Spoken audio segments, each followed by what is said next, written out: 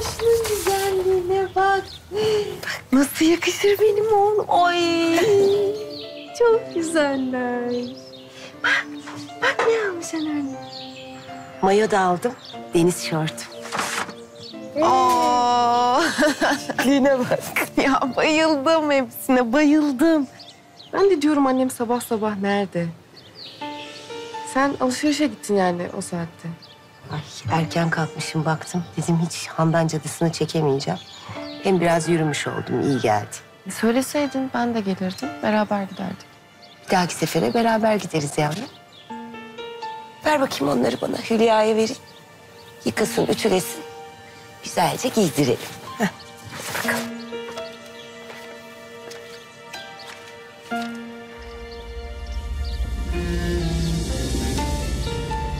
Neler almış benim oğlum anneannesi?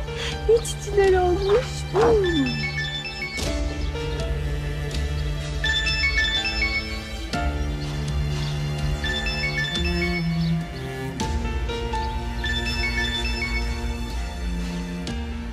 Efendim, İyi günler. Yeter Hanım'la mı görüşüyorum? ben kızıyım. Buyurun. Ben klinikten arıyorum.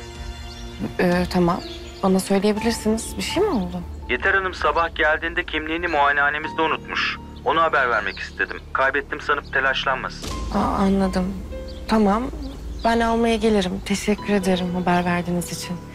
Bir adres alabilir miyim? Tabii. 19 Mayıs Caddesi numara 43. Peki o zaman bir ay sonra görüşmek üzere. Çok sağ olun. Geçmiş olsun. İyi günler. Pardon. Buyurun. Ben hastanız Yeter Aslan'ın kızıyım Gülsüm. Vaktinizi almadan bir iki sorum olacak. Tabii tabii buyurun buyurun. Annemin hastalığını biliyorum. Ama bizi üzmemek için çok fazla bir şey anlatmıyor. Hatta bugün size muayene için gelmiş sanırım ama onu bile söylemedi. Kendine göre haklı sebepleri olabilir. Ama ben ona yardım etmek istiyorum. Beyninde bir tümör olduğunu biliyorum. Hatta şu an onu küçültmek için bir ilaç tedavisi uyguladığınızı da biliyorum. Ama daha fazla bilgiye ihtiyacım var. Ona daha çok destek olmak istiyorum. Açıkçası size hastalığıyla ilgili detaylı bilgi veremem. Ancak şu kadarını söyleyebilirim. Anneniz bu sabah klinikle bütün ilişkini kesmek için buraya geldi. Nasıl yani? Yeter Hanım tedaviye devam etmek istemiyor hanımefendi. Ama ben ilaçlarını aldığını biliyorum. Nasıl böyle bir şey yapar? Acaba başka bir hastaneyle mi acaba? Yo yo bildiğim kadarıyla hayır. Anneniz tedavi olmak istemiyor. Peki tedavi olmazsa ne olur? Beynindeki tümör en hızlı şekilde büyür. Maalesef bu durumda ne kadar yaşayabileceğini söylemek de zor. Ne dediysem olmadı, ne yaptıysam dinletemedim. Belki bir de siz konuşsanız. Kim bilir belki ikna edersiniz. Tedaviye tekrar başlarız. Çünkü kaçırdığı, geçirdiği her gün onun için çok büyük bir zarar hanımefendi. Anladım. Tamam. Teşekkür ederim. İyi çalışmalar. Rica ederim ne demek. Günler.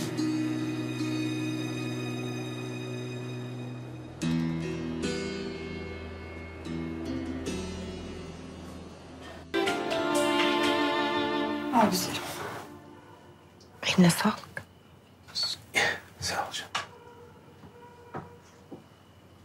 Evde de kimse kalmadı. Abimler de dönmeyince ben biraz böyle kafa dağıtmak istedim. Abimle Aslı nasıl? İyiler mi? İyiler galiba. Bolu'ya gitmişler. Yani aralarında bir sorun olsaydı ya Aslı ya abim biri dönmüş olurdu herhalde. Aman aman iyi olsunlar da. Handan teyzem de döndü eve. İleri geri bir sürü laf söylüyor anneme. Çok üzülüyor kadın. En çok ona üzülüyorum zaten. Kadın bu haldeyken. Ne oldu? Ne var? Ferhat'la kavga ettiler diye mi? Handan Hanım diyorsan yeter anne üstesinden gelir üzülme sen. Ama annem eskisi gibi değil. Artık gücü yok. Ne diyorsun şimdi yani? Allah Allah Gülsüm.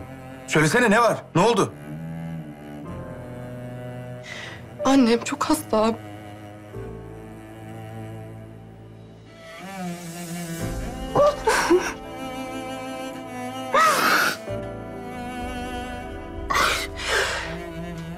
Hasta işte yani. Tedaviyi de bırakmış. Annemiz bile isteye ölüme eriyor yani. Ölüyor. Tamam sakin. sakin. Biraz soluklan anlatırsın iyice.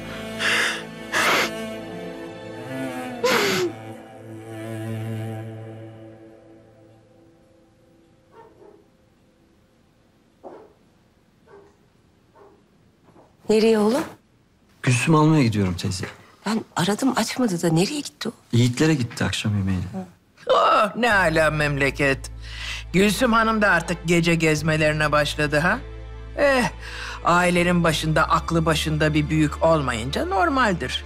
Biz halimizden memnunuz anne. Ayrıca Gülsüm de abisine gitti. Öyle akşam gezmelerine falan değil. Tamam. Kusura bakma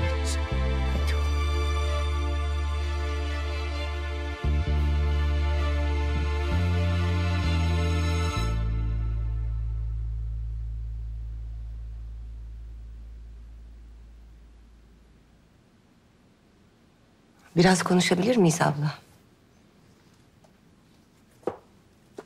Konuşalım bakalım. Sen hiçbir zaman beni aileden saymadın. Bu yüzden de Namık abim evi bana verince çok içerledin. Dur bakalım. Bu lafın sonu nereye varacak? Ee, anlat anlat. Kim ne derse desin bu ailenin büyüğü sensin. Allah Allah. Senden tek bir isteğim var. Gülsüm'ü daha fazla ezme. Bu muydu diyeceğim? Ben ne diyorsam kızın hak ediyor. Abla yapma. Gülsüm daha çok genç. Çok ezildi. Bırak, bırak Abidin'le mutlu olsunlar. Karşılarında durma. Arkalarında dur, sana o yakışır. Sen, sen Gülsüm'ün annesi sayılırsın. Hayırdır inşallah. Bir yere mi gidiyorsun? Böyle kızını emanet eder gibi bir takım laflar, ha? Ezildiyse sen ezdin. Yıllarca hor gördün kızını. Yapmadığın eziyet kalmadı. O da sonunda neydi belirsiz bir adamdan çocuk peydahladı. Ruhun bile duymadı. Sırf o mu? Yıllarca Yiğit'in yüzünü görmedin. Ferhat bir gün olsun gözünün içine bakıp da sana anne demedi. Yıllarca evlatlarınla ne yaşadıysan bundan sonra olacaklardan da sen sorumlusun. Öyle dolu dolu gözlerle bakmakla olmuyor Yeter Hanım. Ana olacaksın, ana. Artık taktik mi değiştirdin? Yoksa yenilgiyi mi kabul ettin bilmiyorum ama bana analık dersi verecek en son insan sensin.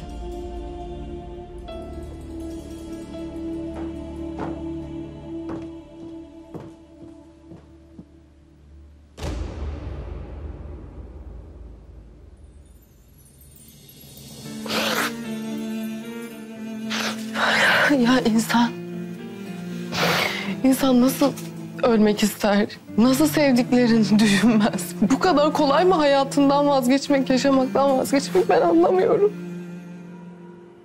Artık ne yaşıyorsa içinde. Torunları var, çocukları var. Şimdi Ferhat abimin de çocuğu olacak. Bari buna tutulsa ya, bizi düşünse, ne bileyim arkasında bırakacaklarını düşünse. Ben anlamıyorum. Ben anlıyorum annem. Hayatı o kadar zor geçmiş ki. Artık savaşmak istemiyor belli ki. Ben bakarım. Abi sen de bir konuşsan. Ama bildiğini söyleme. Çok hassas bu konuda. Üzülür sonra kızar bana da. Benden de uzaklaşırsa hiç yardım edemeyiz, yanında olamayız. Tamam. Merak etme sen. Biz Sunay'la ağzını ararız onu.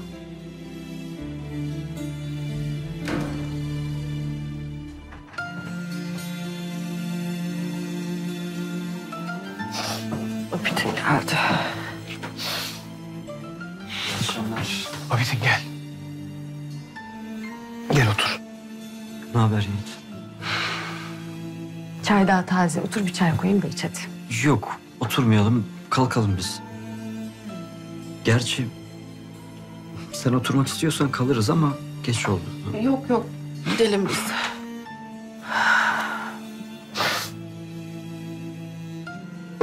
Güzelim.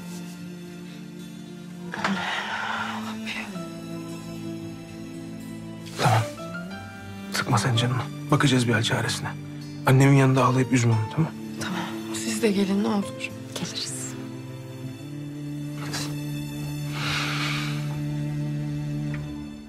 Kanalımıza abone olarak tüm videolardan anında haberdar olabilirsiniz.